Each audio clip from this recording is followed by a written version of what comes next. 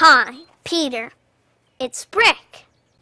In an effort to be more social, I've made this video for you. I ran into your friend at the library, and you know, I was told you're worried because it's Thursday. I didn't know they celebrated that in New York. New York. Lucky for you, I have expertise in getting out of these situations. If you're really stressed out, you should make up an excuse like, I'd love to, but I'm sick that day. Then go out and hit the links. I hope this helps. I'm done talking to you now.